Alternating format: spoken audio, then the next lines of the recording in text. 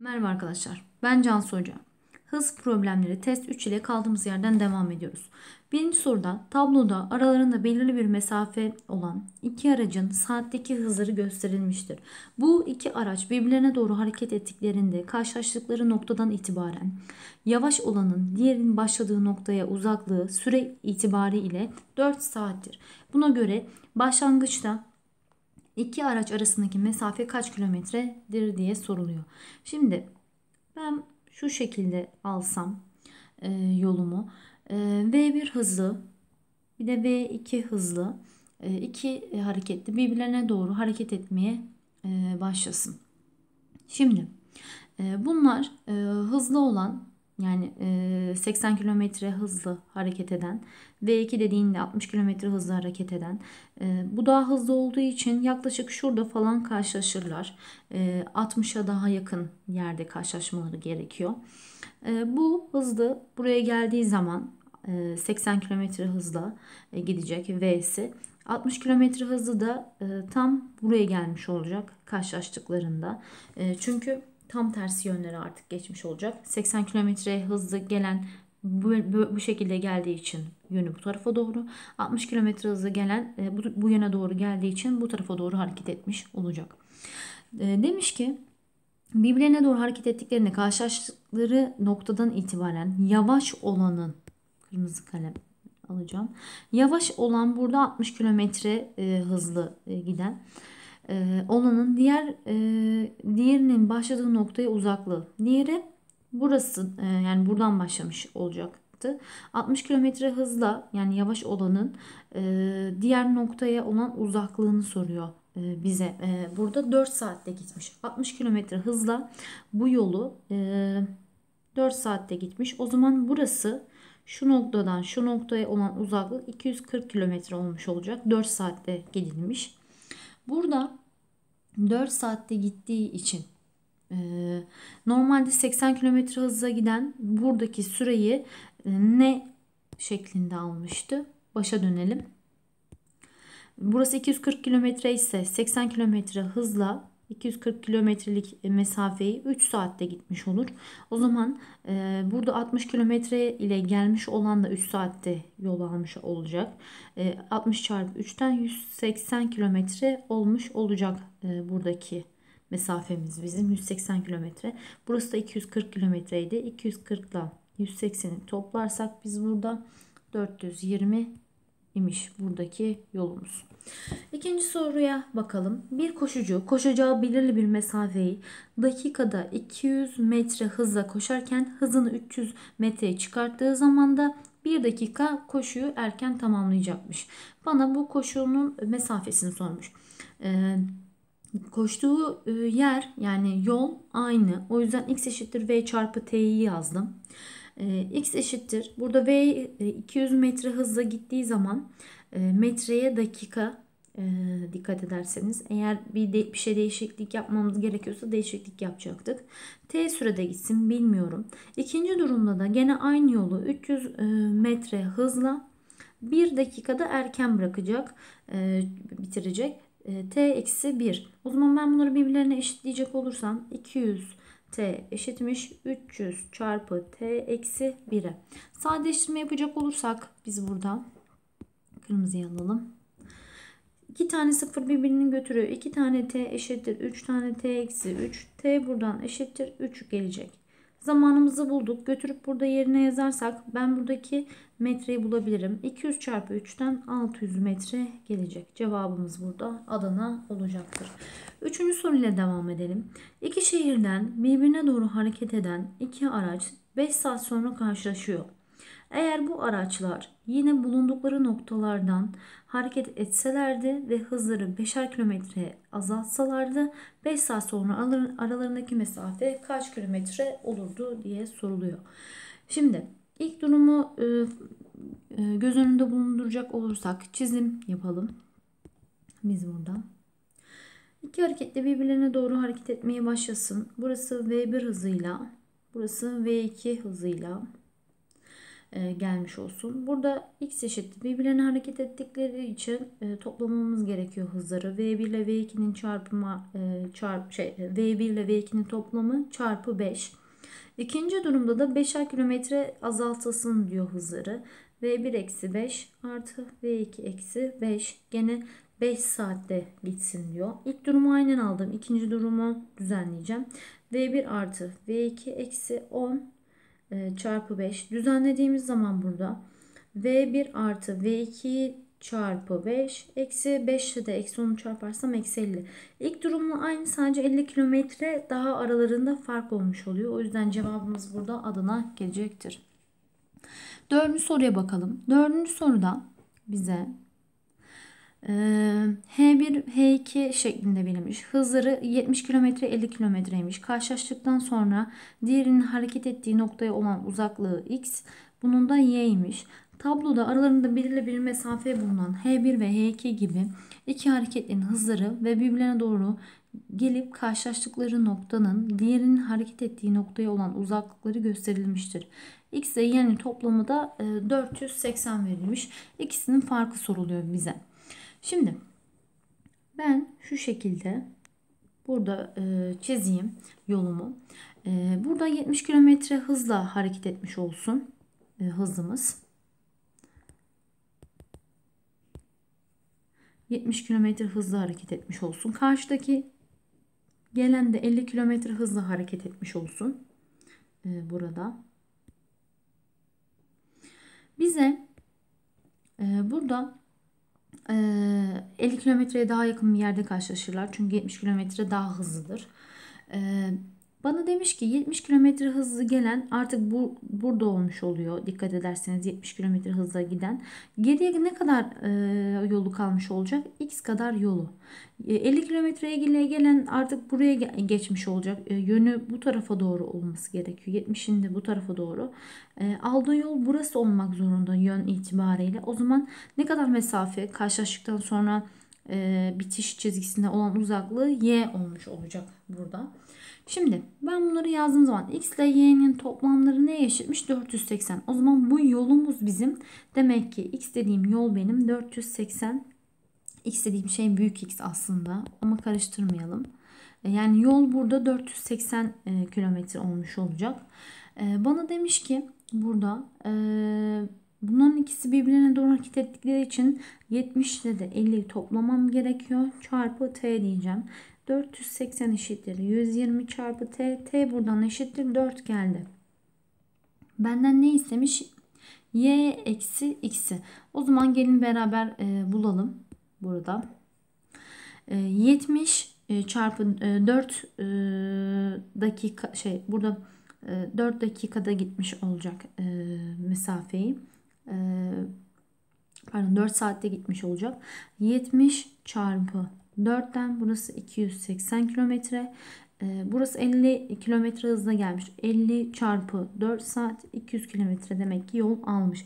Benden burada y eksi x istemiş. y 280. E, x de burada 200 gelmiş olacak. Çıkarttığımız zaman cevabımız 80 geliyor. Yani Bursa. Beşinci soruya bakalım. Tabloda A ve B hareketlilerinin saatlik hızları gösterilmiş. Aralarındaki e, mesafe 100 kilometreymiş. İki araç aynı yöne doğru aynı anda hareket ederlerse hızlı olan diğerine 2 saatte yetişiyor. Hızlı olanın hızı sabitken diğeri hızını 3 katını çıkarırsa aynı mesafe kaç saatte kapanır? Şimdi burada şu şekilde çizelim. Ee, ikisi de aynı yöne doğru hareket ediyor. Bu buradan başlasın, bu da buradan. Bunlar e, bitiş çizgisi burası olmuş olsun. E, ikisi aynı anda buraya ulaşacak. Şimdi aralarındaki mesafe 100 kilometre. E, bu e, 70 e, büyüktür V'den denilmiş burada. 70 e, V'den büyüktür. O yüzden hızlı olan geride başlaması gerekiyor. O zaman ben buraya 70 dedim. Buraya da V diyeyim dedim. Çünkü burasının daha yavaş olması lazım. Daha e, kısa mesafe alacak. 70 e, daha hızlı olduğu için daha geriden başlasa da buna yetişebilir. Şimdi e, bunun bir formülü vardı. Buradaki aralarındaki mesafe yani 100 dediğim şey eşittir. 70'ten V'yi çıkartıyordum. Aynı yöne e, gidenlerin her zaman hızlarını birbirinden çıkartıyordum. Çarpı 2 e, saatte yetiştikleri için yani bu bitiş çizgisi buraya kadar 2 saatte yol aldıkları için 2 ile çarpacağım. Ben buradan B'yi bulabilir miyim? Evet. E, 2 ile niye çarparsam 100 e, olur. 50 e, yani 50, 50 olması lazım. O zaman V buradan eşittir 20 gelecek. V'yi bulmuş oldum ben. E, bitti işim. Yani V'yi ben burada 20 olarak buldum. Hızlı olanın hızı sabit iken diğeri hızının 3 katına çıkarırsa hızlı olan hızı sabitken 70 iken yani diyor bana. burada bir değişiklik yapacağız. Ee, yavaş olan hızını yani 20 ise eğer 20'yi 3 katına çıkartırsam 60 olacak. Ee, 60 e, olmuş oldu. 3 katına çıkarırsa aynı mesafe e, ne kadar sürede kapanır? Gene 100 almış oldum aralarındaki e, şeyi. E, 70 eksi 60 çarpı t'sini bilmiyorum. T'yi bulacağım bu sefer. 100 eşittir 10 çarpı t. t eşittir buradan 10 gelmiş olacak. Yani İkisi de dikkat ederseniz hızlı olduğu için birbirlerini yakalamaları daha artık uzun sürmüş olacak. Arka sayfayla devam ediyoruz. Biz burada. Altıncı soruyla devam edelim. Yukarıdaki tabloda iki aracın hızları ile ilgili bilgiler yer almaktadır. Hızlar toplamları H1, hızlar farkı da H2 verilmiş. Bu şekilde de oran verilmiş. Demek ki e, bunların oranlarını ben buna 6V diyecek olursam, buna da V diyecek olursam sadeleşir e, oranım benim buradan 6 gelmiş olacak. Yani e, çizecek olursam ben burada şu şekilde almış olayım.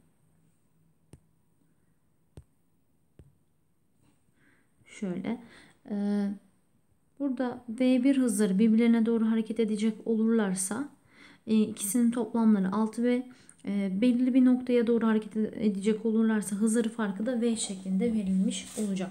Şimdi ilk durum için yazalım. X eşittir burada. V1 artı V2 e, çarpı e, kaç saat e, sürede karşılaşıyorlar? Birbirlerine doğru hareket ederlerse 3 saat sonra karşılaşıyorlarmış. Yolumuz aynı yol bizim e, burada e, şey olarak. E, topladığımız zaman burası 6V çarpı 3'ten x eşittir. Buradan 18V olacaktır. İkinci durum için bakalım. İkinci durumda da e, şu şekilde bir e, çizeyim. Ve bunlar e, belirli bir noktada karşılaşacaklar. V1 e, hızlısı ve V2 hızlısı e, belirli bir e, yöne doğru hareket etmiş olsunlar. Bu şekilde. E, benim bu aralar Aradaki e, mesafem 18V e, idi. Yani x olarak kabul edersem ben bunu x olarak kabul edersem x dediğim mesafe eşittir v1 eksi v2 e, ne kadar sürede onu bilmiyorum t diyorum. x dediğim mesafe benim 18v idi. Birbirine hızlar farkları da h2 idi. h2 de v'ye eşitti. v çarpı t. v'ler sadeleşti. T dediğim şey buradan 18 saat gelmiş oldu. Yani cevabımız burada Adana gelecektir. 7. soruyla devam edelim. 7. soruda bize tabloda e, bir aracın e, iki kısımdan oluşan bir yolda hangi kısımda saatte hangi hızla gittiği ve e, bu yolun tamamında harcadığı toplam süre verilmiştir. Ee, bu araç 45 kilometre sabit hızla hareket etseydi yolun tamamını aynı sürede alacaktı. İkinci kısım e, kaç kilometre uzunluğundadır diye soruluyor. Şimdi e, birinci kısmı 40 kilometre hızla, ikinci kısmı 60 kilometre hızla toplam sürede yani ikisinin e, toplamında ulaştığı mesafe 8 saatte ulaşmış. Şimdi benden ikinci kısımdaki kaç kilometre aldığım kısmı soruyor. Ben burada toplam 8 ee, saatte aldıysam ilk e, birinci kısımda e, 40 kilometrelik hızla t saatte gitmiş olsam ikinci kısımda da 60 kilometrelik hızla o zaman t ile buradaki sayı toplamı 8 olması lazım. O zaman 8 eksi t sürede e, yol almış olursam e, toplam demiş ki bana bu araç e, 45 kilometre hızla hareket etseydi yolun tamamı gene aynı sürede alacaktı. 45 km hızla gitseydim 8 saatte bitireceğimi söylüyor. Yol aynı yol olduğu için buna eşitlemiş oldum. İşlemlerimizi yapacak olursak buna bunu çarpacağım. Şimdi burası 40T artı 60 ile 8'i çarparsam 480 60 ile eksi t'yi çarpacak olursam eksi 60 t eşitmiş 45 çarpı 8'e. 45 çarpı 8 de direkt yazalım biz burada. 360'a eşitti.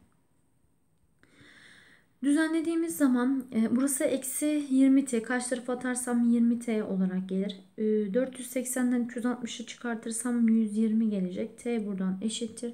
6 olacaktır.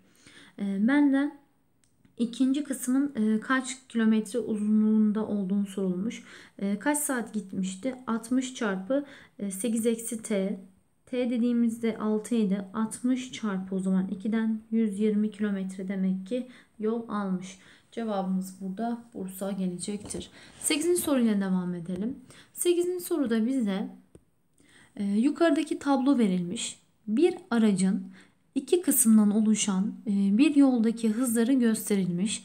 E, birinci kısım tüm yolun 3 bölü 4'üdür. Yolun tamamında harcanan toplam sürede 22 saattir. Buna göre birinci kısımda harcanan e, süre kaç saattir diye sorulmuş bize. Şimdi birinci kısım e, tüm yolun 3 bölü 4'üne eşitmiş. O zaman ben bunu 4 parça olarak düşünürsem yolu yani 4x olarak alırsam birinci kısım e, 3x ikinci kısım x olmuş olacak. E, birinci kısımda birinci kısımda ve ikinci kısma bakalım. İşlemleri yapacağız. Şimdi e, birinci kısımda 2V hızıyla gidiyormuş. Ne kadarlık yolu? 3x'teki yolu. 2V hızıyla bilmiyorum t'sini. E, t olarak alayım. Birinci kısımda harcanan süreyi zaten soruyu T olarak alayım. İkinci kısımda da ben ne kadarlık yol e, gideceğim? İkinci kısımda da X kadar yol gideceğim. E, V'im benim ne burada? 3V. Toplam e, sürem ne? 22 saat. O zaman 22 eksi T diyebilirim ikinci e, kısma ben. Burada oran yap yapmamız gerekiyor. Diğer türlü bulamayız. Çünkü çok fazla bilinmeyen var oranlayacağım. X'ler birbirini götürdü. V'ler birbirini götürdü. T'ler birbirini götüremez. Çünkü burada toplama çıkartma durumu var. O yüzden şimdi içler dışarı çarpımı yapmamız gerekiyor. 3 ile 3'ü çarptım 9 çarpı 22 eksi T. Burada da kalan 1 de 1 ile de burada 2'yi çarparsam 2T e, gelmiş oldu. 9 ile 22 çarpacak olursak bizi burada. E, bu arada 9'a 22 çarpacak olursak 198 gelecek. 9'da ee, t'yi çarpacak olursak 9t eşittir 2t. 198 ee, eşittir 11t. t buradan eşittir 18 gelecektir. Benden e, zaten birinci kısımdaki harcanan süreyi sormuştu. Ben buna zaten bilerek T demiştim. E, ne istiyorsa ona T demeniz daha güzel olacaktır. O yüzden direkt cevabım 18 diyebilirim. Buraya şu şekilde de diyebilirdiniz. 22 eksi T de diyebilirdiniz. E, T oradan o zaman 4 gelmiş olacaktı. 22 eksi 4'ten gene cevabımız 18 olacaktı. Yani hiçbir türlü yaptığınız cevap değişmeyecektir arkadaşlar. 9. soruyla devam edelim. Hızı V1 olan bir araç burada kalemimizi değiştirelim. Hızı V1 olan bir araç e, bir A noktasına hareket edip bir saat sonra 2V1 e, e, yaptığı anda A noktasına aynı yönde hızı V2 olan bir başka araç yola çıkıp 4 saat sonra öndekine yetişiyor. V1 bölü V2 kaçtır diye bize soruluyor. Burada Dokuzuncu soru. Bu soru çok güzel bir soru. Ee, yap, yapılanları anlamanız açısından. Şimdi bu şekilde bir çiz, çizeyim yolumuzu. Şimdi V1 hızı ile buradan başlayan bir hareketli, V1 hızıyla başlayan bir hareketli. Ee, daha sonra bir saat hareket etmiş. Yani buraya geldiğini e, farz edersek V1 e, çarpı 1 saat e, yol aldıktan sonra hızını artık 2 tane V 1'e çıkartmış. Hızı artık bu olmuş olacak. Yolu da e, V1 çarpı 1 olmuş olacak. Daha sonra arkadan gelen V2 hareketlisi bu sefer gene başlangıç noktasının V2'den bir hareketle hareket edecek ve bu 2V1 hareketlisiyle V2 hareketlisi bu noktada karşılaşmış e, olacaklar. Şimdi her zaman aralarındaki mesafe alınırdı ve hızı büyük olandan küçük olanı çıkardık. E, buradaki mesafemiz ne bizim? V1 çarpı 1 yani x dediğimiz yol. Dikkat ederseniz V1 çarpı t dediğim her zaman x'i verirdi. E, hızlı olan e, hep arkadan gelendir. Arkadan gelenin birine yetişmesi için hızının daha fazla olması gerekiyor. Aynı yöne gittiklerinden dolayı çıkartmamız gerekiyor. V2 eksi 2 tane V1 çarpı ne kadar sürede diyor e, birbirlerine yetişiyorlar. 4 saat sonra birbirlerine yetişiyorlar. V1 eşittir. Burada 8 tane V2 eksi 8 tane V1 e, gelecek burada. Düzenlediğimiz zaman burada 8 tane V1'i kaç tarafa atarsam 9 tane V1 eşittir. 4 tane V2 olmuş olacak. V1'in V2 oranını istemiş bana.